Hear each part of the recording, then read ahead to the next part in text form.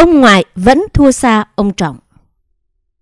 Ông Nguyễn Thanh Hà, Giám đốc Bệnh viện Hữu nghị Việt Xô, Hà Nội, vừa xác nhận ông ngoại, người giúp vợ chồng cô Vũ Phương Anh được chích vaccine ngừa COVID-19 do Pfizer sản xuất, để cô hoan hỷ khoe với bạn bè trên Facebook là có thật. Theo ông Hà, ông ngoại là cha của cô Vũ Phương Anh, tuy ông ngoại chỉ là giảng viên ở Học viện Quân y 103 nhưng đăng ký tiêm cho con gái và con rể thành công vì có một học trò là bác sĩ trong tổ tiêm. Ông Hà rất không hài lòng khi cô Vũ Phương Anh bảo rằng cô không thích vaccine của AstraZeneca mà chỉ muốn chích Pfizer và ông ngoại có thể đáp ứng ngay lập tức – Ông Hà cho biết sở dĩ vợ chồng cô Vũ Phương Anh được chích vaccine của Pfizer vì bệnh viện vừa hết vaccine AstraZeneca và vì bệnh viện chích vaccine Pfizer cho cán bộ cấp cao xong thì thừa hai mũi. Rất nhiều người chê trách cô Vũ Phương Anh, người từng là hoa khôi báo chí và nghe nói đang làm việc trong cơ quan truyền thông chính thức nào đó khi khoe sự giúp đỡ của ông ngoại. Trên Facebook, trong bối cảnh Việt Nam đang hết sức căng thẳng vì dịch bệnh lan tràn mà thiếu vaccine. Sự hồn nhiên của cô Vũ Phương Anh là đẩy Bệnh viện Hữu nghị Việt Xô vào thế phải thành kính phân bua với đồng bào. Nghe nói Bệnh viện Hữu nghị Việt Xô sẽ xem xét kỷ luật bác sĩ trong tổ tiêm đã dùng vaccine của Pfizer chích cho vợ chồng cô Vũ Phương Anh. Riêng ông ngoại thì vô can dù ông và cô con gái hồn nhiên giống như đặc quyền đặc lợi mà họ nhận được là đương nhiên. Cùng hôm 20 tháng 7, Quốc hội Cộng hòa xã hội chủ nghĩa Việt Nam khóa 15 họp phiên đầu tiên, ông Nguyễn Phú Trọng đăng đàn khẳng định cả nước đang hân hoan phấn khởi trước thành công rực rỡ của Đại hội Toàn quốc lần thứ 13 của Đảng và kết quả tốt đẹp của cuộc bầu cử đại biểu Quốc hội khóa 15 và đại biểu Hội đồng Nhân dân các cấp nhiệm kỳ 2021 đến 2026. Tổng bí thư Đảng Cộng sản Việt Nam đồng thời là một trong những người đại diện cho ý chí, nguyện vọng của toàn dân tại Quốc hội đã làm rất nhiều người chân hưởng khi ông dõng dạc cả nước đang hân hoan phấn khởi.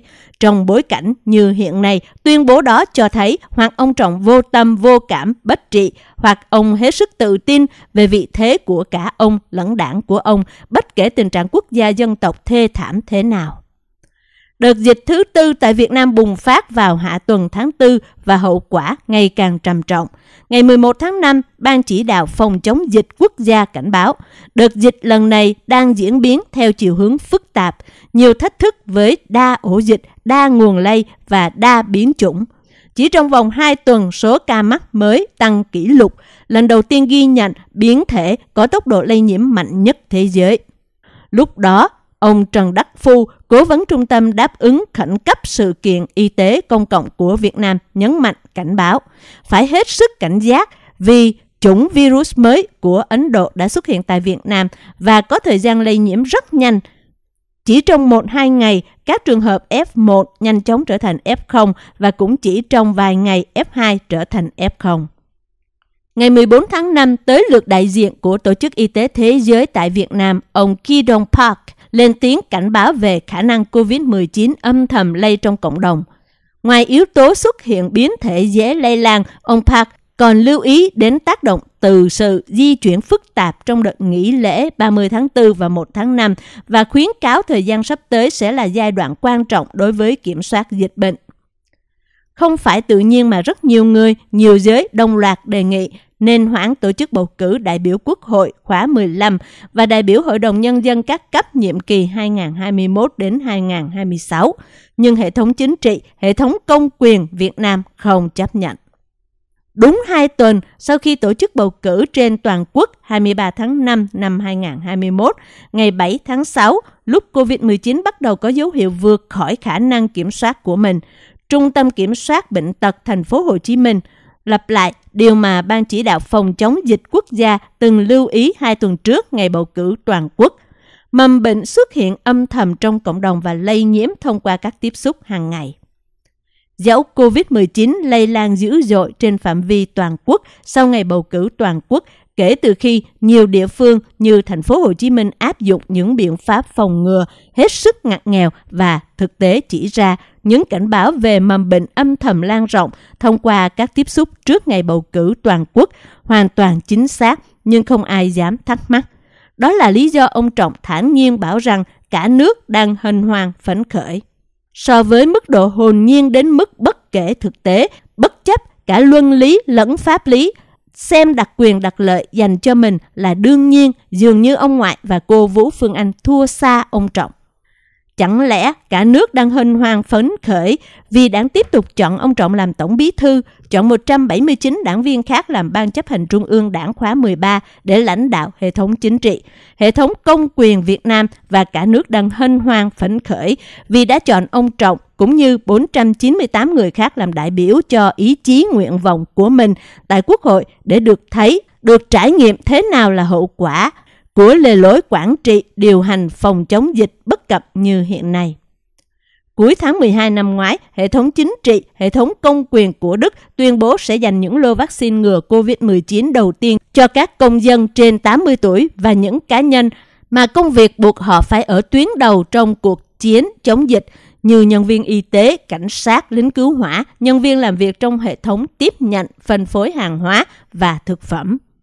Đến cuối tháng 2 vừa qua, bà Angela Merkel, Thủ tướng Đức cho biết do vaccine khan hiếm, bà vẫn đang chờ đến lượt được nhận vaccine. Trước đó, hệ thống chính trị, hệ thống công quyền của Đức đã quyết định bổ sung giáo viên cũng như những người vô gia cư và người nước ngoài xin tị nạn tại Đức đang phải sống trong các trại tạm cư và diện ưu tiên nhận vaccine vì nguy cơ lây nhiễm của những đối tượng này cao hơn các viên chức chính quyền và dân cử. Ở Việt Nam thì sao? Khi phân bua về trường hợp dành vaccine của Pfizer cho vợ chồng cô Vũ Phương Anh, những người không đăng ký vì đăng ký không biết đến bao giờ mới được tiêm. Giám đốc Bệnh viện Hữu nghị Việt Xô vô tình tiết lộ lô vaccine của Pfizer mà bệnh viện này đã nhận dùng để chích ngừa cho cán bộ cấp cao và vợ chồng cô Vũ Phương Anh được chích là do thừa hai liều. Lẽ nào thản nhiên thủ đắc đặc quyền đặc lợi luôn luôn ăn trên ngồi trước khi tham gia điều hành hệ thống chính trị. Hệ thống công quyền lại là lý do để ông Trọng tự tin đưa ra những tuyên bố kiểu như cả nước đang hân hoan, phấn khởi. Ổ bánh mì và lọ Pfizer thể hiện bản chất phản động của chế độ Hà Nội. Hai chuyện nhỏ xảy ra hầu như cùng lúc tại Việt Nam. Một phó chủ tịch phường xử lý một người dân vì đi mua bánh mì. Một cô tiểu thư đỏ khoe mình được chích vaccine xịn Pfizer. Hai câu chuyện tưởng nhỏ nhưng thật ra rất lớn vì nó lột tả đầy đủ bản chất chế độ Cộng sản ở Việt Nam. Hai câu chuyện đó là một mô hình thu nhỏ của xã hội Cộng sản Việt Nam hiện tại. Lột tả thực tế ý thức hệ của chế độ, một ý thức hệ rất phản động. Chiếc bánh mì Trần Lê Hữu Thọ, viên phó chủ tịch phường ở tỉnh Khánh Hòa, không cho một công dân đi mua bánh mì và xử lý anh ta với lý do vi phạm lệnh giãn cách. Việc ngài phó chủ tịch quá ư sốt sắng với công tác chống dịch, xem bánh mì không phải là lương thực thì ráng lắm có thể được châm trước. Có thể anh ta nghĩ rằng công dân này đi mua bánh mì để ăn chơi giống như anh ta. Không phải là nhu yếu như một số người Việt Nam chỉ ăn cơm. Nhưng Hai hành động khác của viên phó chủ tịch lại là chuyện khác. Anh ta cho rằng hành động đi mua bánh mì là của kẻ dốt nát từ trên núi xuống. Đây là một suy nghĩ kiểu sang trọng cộng sản. Có lần tôi đã bàn tới, người cộng sản xem họ là dân quý phái thành thị, không phải quê mùa như đại đa số quần chúng của họ. Đây là một kiểu suy nghĩ loại giai cấp mới mà Milovan Gilas Người từng là nhân vật số 2 của đảng Cộng sản Nam Tư đã chỉ ra từ lúc mô hình Cộng sản Lenin mới được thực hiện ở nước này sau Thế chiến thứ hai. Sự việc viên phó chủ tịch phường dùng video anh ta quay được và cung cấp cho nơi làm việc để đuổi việc người vi phạm là một hành động lạm dụng quyền lực rất tiêu biểu của cán bộ Cộng sản. Hành động này cũng thể hiện mối quan hệ rất kháng khít giữa nhà cầm quyền và công ty tư nhân trong cái gọi là kinh tế thị trường định hướng xã hội chủ nghĩa, một loại chủ nghĩa tư bản hoang dã. Công nhân trong xã hội này chịu hai tầng áp bức, giới chủ nhân và các sai nha của cơ quan công quyền. Lọ thuốc Pfizer Vũ Phương Anh, một nhà báo của đảng có bố làm tại Bệnh viện Hữu nghị Việt Xô. Nhờ vào mối quan hệ này, bà Phương Anh tranh thủ chích thuốc ngừa Covid. Sau đó, bà ta đăng ảnh khoe trên mạng xã hội. Giám đốc bệnh viện trần tình với báo chí rằng liều thuốc Pfizer này chích cho bà ta là liều thuốc còn sót lại sau khi chích cho một đoàn cán bộ cao cấp. Một lần nữa có thể thấy hình bóng giai cấp mới của Gilas trong câu chuyện này. Một hình ảnh hoàn chỉnh, nếu Vũ Phương Anh là lớp dưới chuyên hưởng sái của giai cấp này thì cả đoàn cán bộ cao cấp được chích Pfizer ở từng lớp trên đầy quyền lực của giai cấp mới. Việc bà Phương Anh thẳng thốt khoe trên mạng xã hội sự sung sướng của bà ta vì được chích Pfizer cũng như loại thuốc này được dùng cho cán bộ cao cấp, mua bằng tiền thuế của dân chúng, một lần nữa thể hiện sự sang trọng cộng sản. Tính cách ăn trên ngồi chốc của các viên chức lãnh đạo Họ cho rằng họ phải dùng thuốc xịn nhất dù nó được bọn tư bản xấu xa sản xuất. Sự tham lam và phản động làm cho họ mù quáng. Họ muốn tránh rủi ro đông máu nếu được tiêm AstraZeneca, thuốc viện trợ. Dù rủi ro này vô cùng thấp và nghiên cứu mới đây cho thấy Pfizer cũng có tác dụng phụ, cũng có thể gây ra tổn thương não. Tính cách phản động của các viên chức cộng sản làm cho họ đặt mạng sống lên trên đầu dân chúng mà họ kêu gào liên tục rằng họ là đầy tớ của nhân dân. Các viên chức phản động này lo bảo toàn mạng sống để thoát đại dịch mặc kệ dân chúng. Họ không chịu xếp hàng chờ tới lượt như Thủ tướng Đức Angela Merkel. Sự phản động không xa lắm sự dốt nát. Diễn biến của đại dịch hơn một năm rưỡi qua đủ cho người ta biết rằng người già là bộ phận nhiễm virus dễ ngã bệnh và dễ chết nhất vì COVID-19. Vậy mà khi bắt đầu chiến dịch chích ngừa hồi tháng 3 năm 2021, nhóm dân chúng này được đặt sau công an và bộ đội, hai nhóm làm thanh kiếm và lá trắng, bảo kê cho sự tồn tại của đảng. Mãi đến tháng 7 năm 2021, sau khi dịch bùng lên dữ dội ở thành Hồ, thì thành phố này mới bắt đầu lập danh sách chích ngừa cho người già.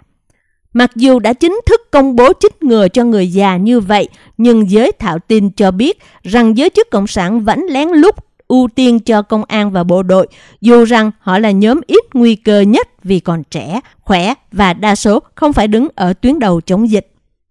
Bản tin của chính báo chí của đảng trong vụ Vũ Phương Anh vô tình tiết lộ sự ưu tiên cho cán bộ cao cấp. Chuyện này củng cố độ khả tín cho tin đồn rằng giới chức Cộng sản lén lút giành thuốc của dân chúng. Sự ngu xuẩn nằm ở chỗ này, nếu nhóm người có nhiều rủi ro kia bị ngã quỵ, thì nó sẽ hình thành những ổ dịch lớn, lan mạnh. Thay vì phải nhanh chóng chích ngừa cho những lớp người chịu nhiều rủi ro nhất, chích ngay những lọ thuốc vừa được nhận càng nhanh càng tốt, những nhà lãnh đạo cộng sản sẵn sàng hy sinh lớp dân chúng già cả. Những lãnh đạo này ống ẹo chọn lựa loại thuốc mà họ cho là xịn sò cho chính họ. Không có tính phản động phản cách mạng nào cao hơn thế. Nhưng các bệnh viện đã bắt đầu hết giường bệnh, Pfizer có thể cứu vài mạng sống của các viên chức phản động, nhưng Pfizer không thể cứu được một chế độ phản động.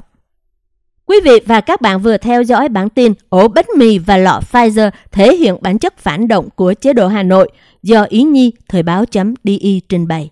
Cảm ơn quý vị và các bạn. Hẹn gặp lại vào bản tin lần tới. Từ Berlin, Cộng hòa Liên bang Đức. Chào tạm biệt.